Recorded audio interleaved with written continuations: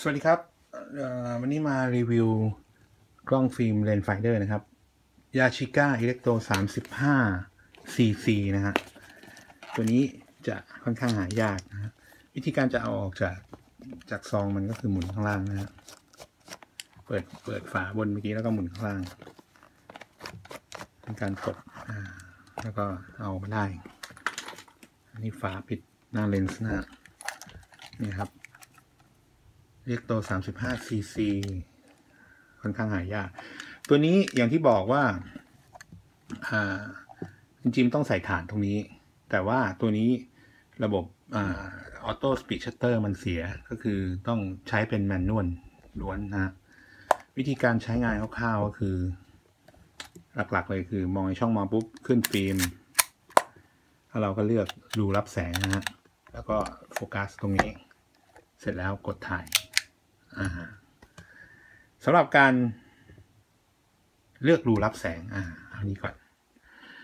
นี่นะฮะ มันจะวงแหวนหน้าเนี่ย มันจะมา f สิบหก f สิบเอ็ดอย่างเงี้ย สมมติ อ่าสมมติเราจะถ่ายหน้าชัดหลังเบลอเนี่ย เราต้องมาที่ f หนึ่งจุดแปดเลย อ่า ก็คือ อันเนี้ยจะถ่ายหน้าชัดหลังเบลอได้เพราะว่ามันเปิดรูรับแสงกว้างที่สุด สมมุติเราจะถ่ายกลางแดด ตอนเที่ยงเลยนะฮะแดดจัดๆเนี่ยแนะนำให้ใช้ f16 รูรับแสงที่แคบที่สุด เนี่ยเราจะดูโซนจากข้างบนก็ได้นะฮะ f16 f11 มันจะเป็นรูปพระอาทิตย์นะฮะ f8 พอเริ่มเข้าสู่โซนนี้ f5.6 f4 f2.8 เนี่ย มันจะเป็นรูปเมฆแปลว่ามาเริ่มไม่มีแดดแล้วเมฆครึ้ม อันสุดท้ายเนี่ย 1.8 เป็นรูปอาคารอ่าแปลว่าในที่ร่มถ่ายในที่แสงน้อยนะครับ อันเนี้ยลองลองศึกษาเพิ่มเติมจาก Google ก็ได้ครับ ว่าวิธีการปรับรูรับแสงอะไรเงี้ยครับอันนี้วงแหวนต่อไปเนี่ย มันคือวงแหวนนี้ หมุนซ้ายหมุนขวาและมองในช่องมองเนี่ยมันคือการโฟกัสโฟกัสเนี่ยยกยกตัวอย่างนะสมมุติอันนี้เป็นคนมองเรามองเข้าไปในช่องมอง เรามองไปปุ๊บคนมันคนเนี่ยมันอาจจะถูกแยกออกเป็นสองคนนี้ มันจะมีกรอบสีเหลืองเล็ก สีเหลืองจางๆนะฮะอยู่ตรงกลางอยู่ตรงกลางช่องมองอ่าเล็ก ๆ นะฮะสังเกตดีๆ แล้วเราก็สมมติเราเจอคนเป็นสองคนเนี่ยเราก็หมุนซ้ายหมุนขวา จนกว่าคนมันจะรวมร่างเป็นแนบชิดเป็นหนึ่งเดียวไม่เหลื่อม สมมุติมันเหลื่อมอย่างนี้แปลว่าภาพมันจะออกมาเบลอไม่ชัดเหลื่อมอย่างนี้ก็ไม่ชัด ต้องต้องหมุนซ้ายหมุนขวาจนกระทั่งมันแนบกันอย่างนี้ อันนี้แปลว่าโฟกัสเข้า ก็จะภาพจะชัดอ่าครับหลังจากนั้นเราพอเราทำตั้ง รูรับแสงโฟกัสเรียบร้อยเราก็ขึ้นฟิล์มตรงนี้ แล้วก็กดถ่าย ตัวนี้มันจะมีที่ล็อกตัวกดถ่ายนะฮะ สมมติเราขึ้นฟิล์มปุ๊บ แต่เราไม่ถ่ายช็อตเนี้ย เราเก็บจะเก็บลงในกระเป๋า ให้เราบิดตัวนี้มาที่ตัว L มันจะกดปุ่มนี้ไม่ได้ อ่า กันแบบเวลาเราเก็บเข้าไปในกระเป๋าแล้วมันมันไปกดโดนรูปมันก็จะเสียไปเลยหนึ่งรูป พอหยิบออกมาปุ๊บเราจะถ่ายเราก็เลื่อนมา เนี่ยสุดมันจะสุดที่ด้านซ้ายเนี่ย แล้วกดถ่ายได้โอเค ต่อไปเป็นวิธีการใส่ฟิล์มนะฮะวิธีใส่ฟิล์มก็คือให้ดึงตัวนี้ยกตัวนี้ขึ้นก่อน เสร็จแล้วดึงฝาหลังมันจะเปิดออกนะฮะเราจะใส่ฟิล์มก็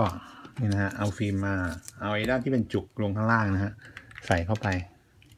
แล้วดึงมาทางขวา ทางขวาสังเกตมันจะมี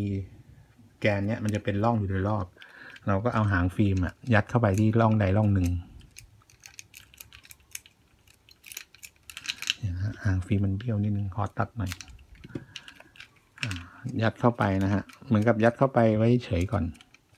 ให้มันเกาะเอาไว้ แล้วเราก็ขึ้นก้านฟิล์ม นี่แล้วมันจะดูดเข้าไปนะฮะดูดเข้าไปปุ๊บอย่างนี้นี่มันจะมาเหน็บอีกด้านอย่างนี้อย่างนี้แสดงว่าใส่ถูก สมมติเรายังใส่แล้วยังไม่ถูกแล้วมันมันเวลาขึ้นปุ๊บมันมันขึ้นต่อไม่ได้แล้ว เราต้องกดถ่ายทิ้งไว้ก่อน มันถึงจะขึ้นขึ้นใหม่ได้เนี่ยถึงจะเดินต่อไปได้ อ่าโอเค สมมติเราดูแล้วมันชัวร์ละมันไม่น่าจะหลุดละเราก็ปิดฝาเราก็ปิดไอ้ตรงนี้ลงมาหน่อย หมุนกลับมาทางนี้เหมือนกับให้ฟิล์มมันเริ่มตึงๆขึ้นนะ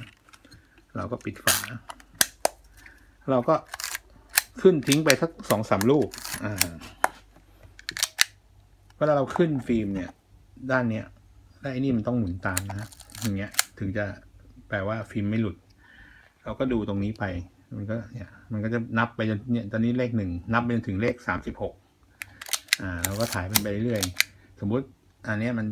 นี่ขึ้นเป็นจุดเลขสองสมมุตินะฮะว่ามันหมดสามสิบหกรูปแล้ว สิ่งที่จะเกิดขึ้นเวลามันหมดสามหกรูปเนี่ยไอ้ก้านนี้มันจะขึ้นต่อไม่ได้ล้วมันจะแข็ง หรือว่าเสร็จขึ้นเสร็จแล้วกดไม่ลงล้ว อันนี้ให้ดูเลขตรงนี้ถ้ามันคือถ้ามันสามสิบหกแล้ว แปลว่าฟิล์มมันหมดนะฮะ วิธีการก็คือต้องกดตัวนี้ลงไป เราต้องกอฟิล์มกลับนะฮะ กดลงไปแล้วมันจะจมลงไปนะฮะ เราก็ยกไอ้ก้านนี้ขึ้นอีกทีหนึ่งหมุนตามเข็มนาฬิกากลับมา มันจะฝืดๆ แล้วมันจะลื่น มันจะดังคลิกแล้วมันลื่นนะฮะ แปลว่าฟิล์มมันกัดเข้าอยู่ในกลับนะ อันนี้มันเร็วเพราะว่าเพิ่งถ่ายไปแค่สามสิบหกรูปนะฮะ เอ้ยเพิ่งถ่ายไปแค่สองสามรูปเองเมื่อกี้ ถ้าสามหกรูปก็นานกว่านี้ปั่นเป็นนานๆเลยนะฮะ แล้วก็ดึง อ่าเห็นไหมฮะกลับเข้าอยู่ในกลับก็คือพอมันดังคลิกแล้วมันลื่นเนี่ย ก็แสดงว่ามันกลับอยู่ในกลับแบบนี้แล้วเอาไปล้างได้ ครับ วิธีใช้งานคร่าวๆโดยรวมก็ประมาณนี้ครับ ขอบคุณครับ